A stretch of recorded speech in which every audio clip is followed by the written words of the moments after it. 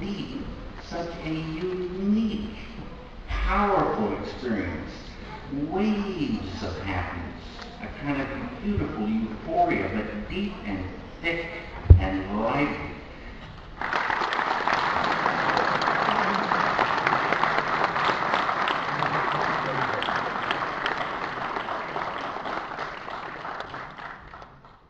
Heute beginnt hier mit der Gründung der Universität des unbesiegbaren Deutschlands eine neue Epoche in der deutschen Geschichte. Die Universität des unbesiegbaren Deutschlands, an dem alles Wissen, das gesamte Wissen jedem Studenten bei, äh, angeboten wird. Gleichzeitig erfährt er höhere Zustände seines Bewusstseins, erhebt sich zur Erleuchtung und der Effekt ist, dass ganz Berlin aufleuchtet als strahlender, strahlendes Leuchtfeuer für ganz Deutschland und alle Negativität in Deutschland neutralisiert wird. Und wir haben heute den Teufelsberg gekauft, um auch Deutschland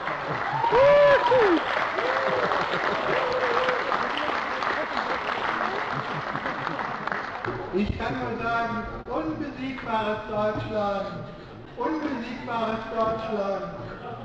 Und ich möchte das, das Echo bitte hören aus dem Saal. Unbesiegbares Deutschland. Unbesiegbares Deutschland. Unbesiegbares Deutschland. Ich bin ein, ich bin ein guter Deutscher, ich bin ein Deutscher, der Deutschland unbesiegbar macht. Aber der greift uns dann an, unbesiegbar gegen wen denn? Gegen alle fremden Einflüsse. für eine begriffliche Korrelation unbesiegbares Deutschland? Also haben Sie da Unbesiegbares Deutschland ist ein Deutschland, das unbesiegbar ist. Jeder Fußballclub möchte unbesiegbar werden. Adolf Hitler wollte das auch. Ja, aber leider hat er es nicht geschafft, weil er nicht Technik hat.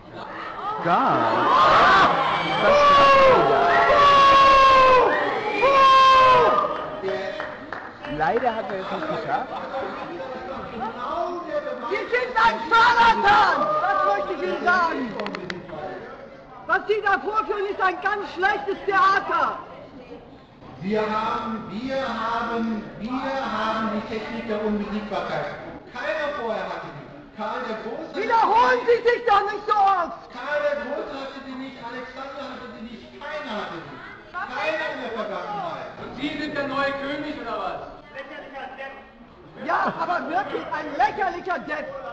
Excuse me, excuse me, it's a, it's a, Diese, diese, it's, it's a pity! Ja, wirklich! wir wollen Deutschland unbesiegbar machen. Jetzt hören Sie damit auf! Reden Sie was anderes! Unbesiegbares Deutschland. Unbesiegbares Deutschland. Jeder sollte unbesiegbar sein.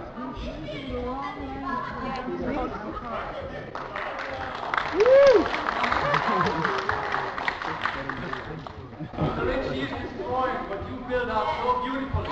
Thank you very much. He's a shame! He's a real shame!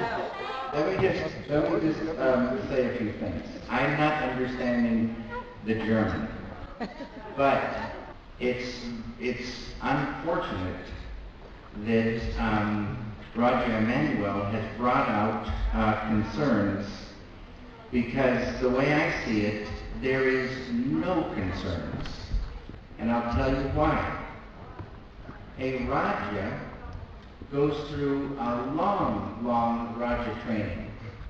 And what they're doing is they're learning to administer from the deepest level, right next to the absolute. Now, Raja Emmanuel is his own self. And Roger Emmanuel is a little bit bigger than life. And Roger Emmanuel is a German. He's a Berliner. He is with you. I guarantee you. Maybe he says some things that shock. Now, I would like to know why you think he's the wrong man. Now, let's, let's work this out because this is going to come up again and again. What is patriotism and, and I can't, okay, one, one at a Why time. doesn't he understand? speaks German, and if, it is, he, if he is aware of the countries living in, he should use other words, which are very close to the Third Reich. And I see, I see, I see. I can promise you that Roger Manuel has only the best interest for Germany. He may, no, yes, yes, yes. Hmm Maybe he's, he's having some fun, I'm not sure, because I don't understand the German. But, uh, you know, we are all here to do something, you know, very, very profoundly good in every country. Invincibility is a real thing. The technologies are here. Everyone, every place we've been has been receptive. So I don't know what Roger Emanuel said, but I think I understand that he used a word from the Third Reich, and, and it's, let's just look at it this way. It's a new world now. It's not going back to anything, you know, horror. It's a new world. It's a ruling from the deepest level. Roger Manuel pictured him connected to that unified field. But Mr. Lynch, the attitude, he was presenting himself, like stepping on stage, like the first introduction. He is presenting himself with the attitude of God.